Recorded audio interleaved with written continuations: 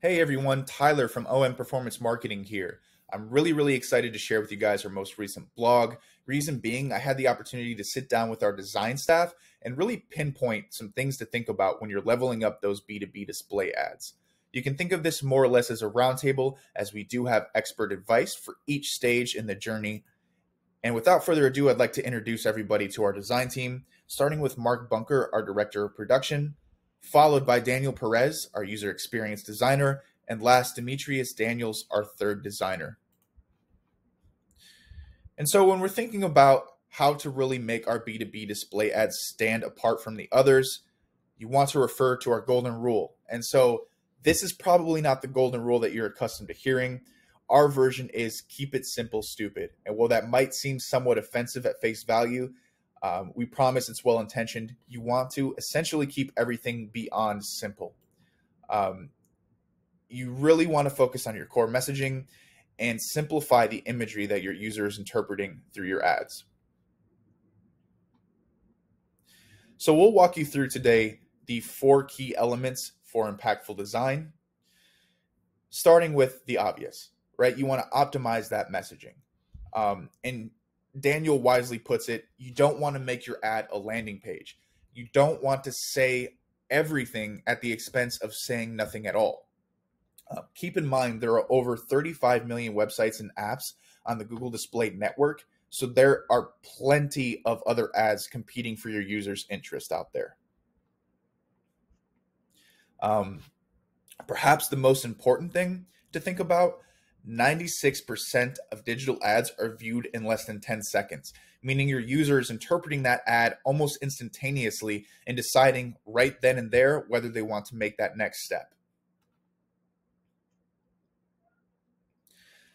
Next up, we have proper branding. Uh, and, and Demetrius really made a good point here. So, your clientele likely has spent hours and hours defining uh, their font and the typeface they want to present to the users as they have a key user in mind and a corresponding type of messaging uh, communicated through that typeface, which really gives the right tone that they're trying to present.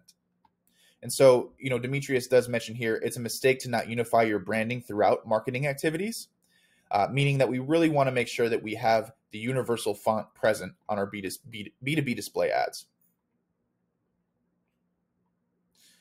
Our third point is probably the most important, in my opinion. Um, the user flow does not end after a click on the ad. And so Mark wisely puts it here people focus on the ad, but not necessarily the flow. Uh, perhaps a good example that we can give you let's say you have a B2B display ad that is promoting a free trial for the client's product.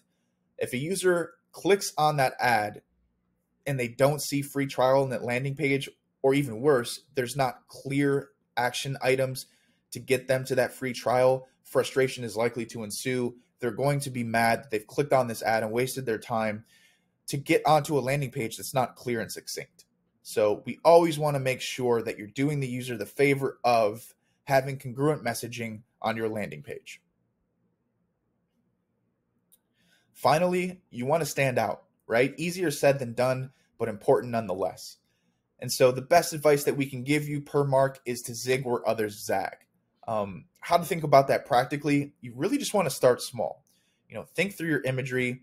Don't present too much distractions in one image. Remember, you're competing with a host of other ads out there. So cut through that clutter, cut through the distraction, and focus on the signal. What's the key message that we want our user to walk away with? Again, we know this is easier said than done, but going back to our golden rule, focus on keeping it simple. Um, obviously, it's not black and white. You know, there are gray areas determining, uh, depending on which industries that you're targeting, and again, which user that you're intending to target. So when all else fails, go back to that golden rule and keep it simple. And so we hope this helps you think like a designer when you're trying to level up those B2B ads. And remember, this is part of capturing demand. While at OM, we do a great job at creating demand, the first step in that phase is always to capture the demand that's out there. And again, if I can leave you guys with anything, it's to live by that golden rule and keep your messaging and your imagery simple. Looking forward to sending you another blog quite soon. Thanks, guys. Bye bye.